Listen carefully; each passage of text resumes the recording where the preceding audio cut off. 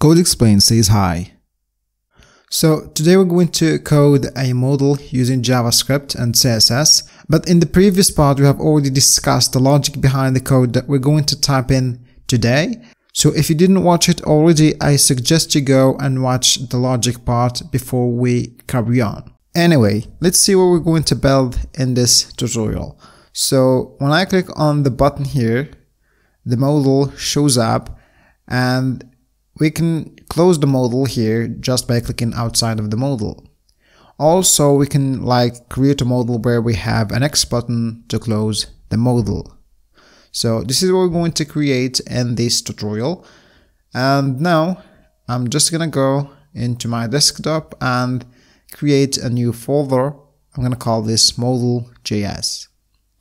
And then I'm gonna open my text editor and open the project or the folder in the desktop. I'm gonna go and create three files which are the index.html and the modal.css and then the modal.js. Let's go first and create some HTML code for the title, I'm gonna just say modal, modal.js and then I'm gonna link my two files, the style file, the modal.css file, and the script, our modal.js file. And now I'm gonna create some content for my modal, a button to open the modal with the class name open modal, and then a div with the class name modal wrapper, then modal content, and some lorem ipsum inside. Now I'm gonna go and open this with live server.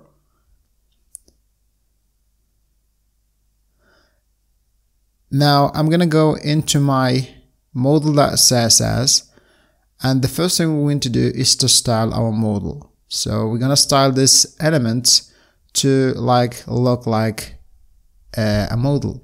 So for the button, we need to add a cursor pointer so it gives this feeling that it's clickable. And then for the modal wrapper, I'm going to set its position fixed. Then the background is an RGBA, so a black color, and then an opacity of 0.6. I'm gonna set here the width to 100% and also the height. Then I'm gonna change the position of it, top 0 and left 0. And then here the z index to 1, so it's gonna be at the top or on top of all the elements. Now by default it's gonna be displayed none, but I'm just gonna comment out that. Now let's go and style our modal content the position is relative and then the width is 60%. I'm gonna set the background to a white color. I'm gonna add a border radius of 5 pixels and then some padding of 20 pixels. Then I'm gonna set top to 50% and also left to 50% and then I'm gonna use transform translate and minus 50% for both x and y to center it.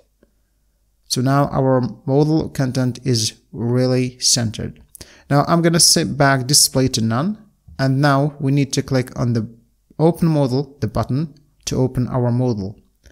So now I'm going to change this to like anything that a user there might use, like random uh, class names. And then here I'm gonna like put in some content like a form to subscribe or whatever. And then here a button. Now I'm gonna go to the bottom and add a script. And here I'm gonna call a function called modal which we didn't create yet. Here our function ah, okay I'm just gonna set this to an ID just to show you that our function can take in as selectors, IDs and class names at the same time. So I'm going to pass in the selectors for the elements of my modal to the function modal. And here I'm going to say this true just to like add the X button to close the modal. Now I'm going to open the console. It says that the modal is not defined. The function is not defined because we didn't create that yet. So I'm going to go now and create the function modal so it's gonna take in open modal selector, wrapper selector, and the content selector, and then close modal, which is by default set to false.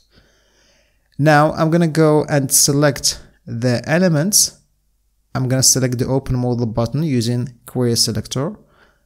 And then I'm gonna do the same thing for the others, like for the modal wrapper selector uh, element, and then the modal content element. So now that I've selected all the elements, now I can do whatever I want with them. And the first thing we want to do is to start the modal elements. So using the class list and then the add method, I'm going to add the, the appropriate uh, class names to those elements. For example, here it's going to be open modal. If I save, now you can see that it's uh, the cursor is a pointer and it gives the feeling that it's clickable. Now I'm gonna add for the wrapper element the modal wrapper class name. I'm gonna add that to its class list. So now if I save you can see that it's gone because display here is set to none. And now I'm gonna add the content, uh, the modal content class name to the content element, the modal content element. Now we need to open modal on click, so I'm going to add an event listener to the modal button, open modal button. We are just going to go and like set the display property of the wrapper element to block. So it was set to none and now we're setting back to block. So here it's uh, the display is none and now it's block when we click on the open modal button. So if I click this on that you can see the modal shows up. And now we need to like close the modal. We can either close the modal by clicking outside or adding an X button.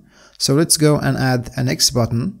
So if the close modal here is set to true, then we need to like add to the inner HTML of the content this HTML entity, which is a multiplication sign. You can see there now. Now we need to style it. So I'm just going to copy this class name here, go to the model.css. So I'm going to set its position to absolute and then top or right to 5 pixels and top to 15 pixels. I'm going to set the font size to 25 and then bolder to the weight and then the family is Arial. I'm gonna go and set the line height to zero and then I'm gonna set its color to this RGB color. Now I'm gonna add uh, so on hover we need to like change the color to uh, a black color and then the cursor is gonna be a pointer. That's great. Now let's go back to our modal.js file. And here we need to like uh, select that X button. So I'm going to use query selector, but not on the document, but on the modal content element. And then I'm going to pass in the class name here, which is closed modal.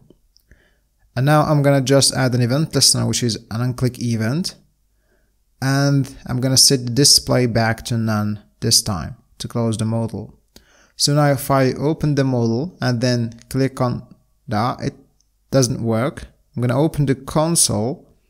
So it says that we can't access property of close modal button. So uh, yeah, we have to like say here a dot for the class name. Now I'm just gonna go and open that. If I click on it, you can see how we can close the modal now. Now let's go and like close the modal when I click outside of the content element. So I'm gonna add an event listener to the modal wrapper element and then I'm gonna pass in a function and this time we need the event, the click event.